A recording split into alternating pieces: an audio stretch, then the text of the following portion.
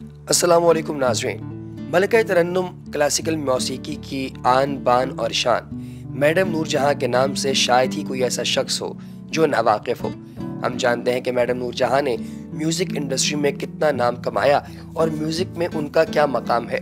मगर आज हम जानेंगे कि उनकी निजी ज़िंदगी के बारे में किधर हकीकत मैडम नूरजहाँ कौन है उनका ताल्लुक कहाँ से है?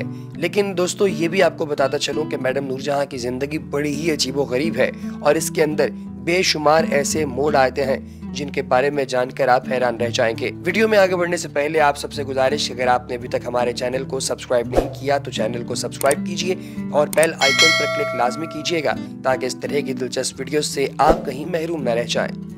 नाजरीन, मैडम नूर जहाँ के दो बेटे थे। जिनका नाम अकबर रिजवी और असगर रिजवी था, जबकि बेटी का नाम ज़िले हुमा था।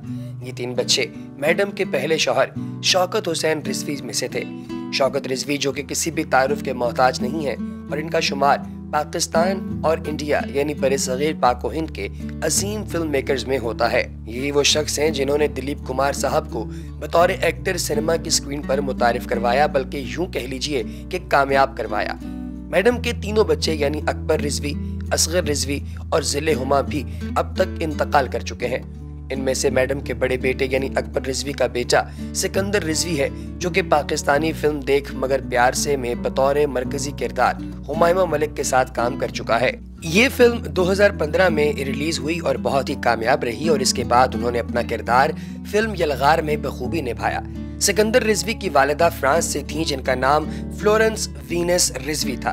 यानी मैडम नूरजहां की बहू क्रिश्चियन थी। ताहम ये मालूम नहीं कि वो बाद मुसलमान हुई है कि नहीं हुई। मैडम नूरजहां की पोती यानी सोनिया जहाँ इंडिया में रहती है, और आपको ये जानकर हैरानी होगी कि वो मुतद फ़िल्मों में इंडिया के अंदर काम कर चुकी है, जिसने मशहूर ज़माना फ़िल्म में नीम माई जो आपने सभी लोगों ने देखी होगी माई नेम इस खान, उसके अंदर जो है वो शाहरुख खान के साथ काम किया और अपना लोहा दुनिया जहान में मनवाया।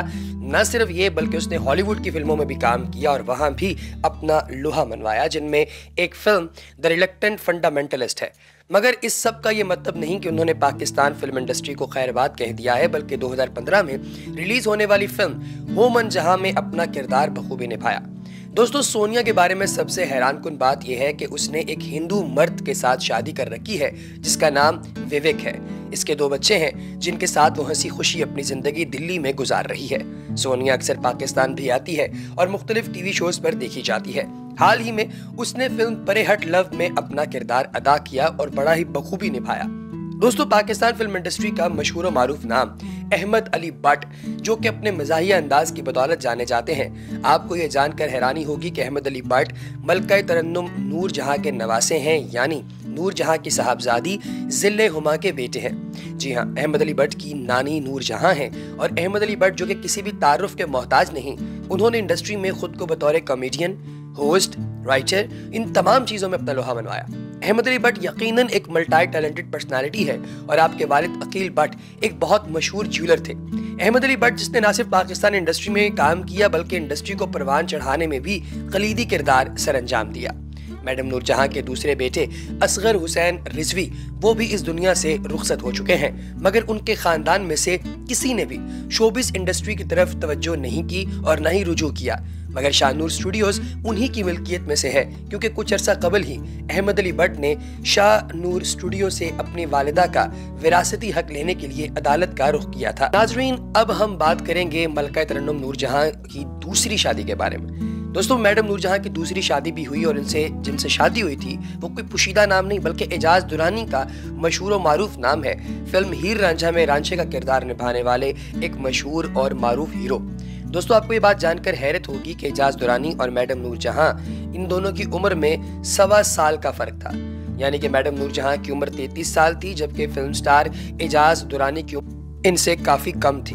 दोस्तों, फ़िल्म स्टार एजाज दुरानी की उम्र सिर्फ़ और सिर्फ़ 24 साल थी और मलका की उम्र 33 साल, यानी 9 साल का इसके दरमियान जो है वो फ़र्क था। दोनों ने लव मैरिज की थी और दोस्तों की शादी मैडम नूर जहाँ की दूसरी शादी थी, जबकि एजाज दुरानी की पहली शादी थी। मैडम से शादी करने पर फ़िल्म स्टार एजाज दुरानी को बहुत ही ज़्यादा फ़ायदा हुआ। दोनों एक दूसरे से बहुत ज़्यादा मोहब्बत करते थे, मगर इस रिश्ते में आशिक मैडम नूर जहाँ थी और महबूब एजाज दुरानी थे।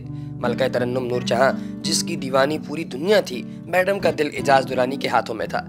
मैडम ने एजाज दुरानी के घर के काम भी किए, यानी उसके लिए कपड़े इस्त्री करना, उसके लिए खाना बनाना और उसका ख्याल रखना, यानी मैडम हर लिहाज से उससे बेपना मोहब्बत करती थीं, लेकिन दोनों का आपस में ज़्यादा अरसे तक निभा ना हो सका। शायद ये कानून फितरत है कि इंसान के अख्तियार में जो हो या जो चीज़ उसकी दस्तरस में आ जाए, वो चीज़ अपनी कदर खो देती है। मैडम नूरजहाँ, जिनका शोहर होना एक एजाज़ की बात थी, फ़िल्म स्टार एजाज उनको छोड़कर दीगर एक्ट्रेसेस के पीछे भागते रहे, जिसका नतीजा ये हुआ कि बिलाखिर दोनों के दरमियान अलहदगी हो गई।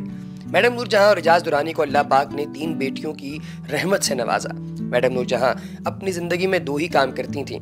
एक तो अपनी आवाज़ का हक अदा करना, यानी गाना गाना, और दूसरा अपने बच्चों से बेपना मोहब्बत करना। तीन बेटियाँ जिनके नाम हिना एजाज, शाजिया एजाज और नाजिया एजाज हैं। हिना एजाज के मुतालिक मशहूर है कि राज कपूर ने जो फ़िल्म हिना बनाई थी, जिसमें जेबा बख्तियार को ऋषि के जो है वो हमरा कास्ट किया गया था दरअसल वो फ़िल्म मैडम नूर जहाँ की बेटी हिना के नाम से और उन्हीं के लिए बनाई गई थी, जब इस फ़िल्म के लिए मैडम नूर जहाँ को कॉल की गई और उन्हें इस फ़िल्म में काम करने की दावत दी गई तो उन्होंने कहकर इनकार कर दिया कि मेरी बेटी फ़िल्मों में काम नहीं करेगी और अगर कभी फ़िल्म करनी हुई तो सबसे पहले फ़िल्म पाकिस्तान में करेगी। राज कपूर भी इस फ़िल्म में पाकिस्तानी हीरोइन को कास्ट करना चाहते थे और बिल्कुल इसी वजह से जेबा बख्तियार को सिलेक्ट किया गया।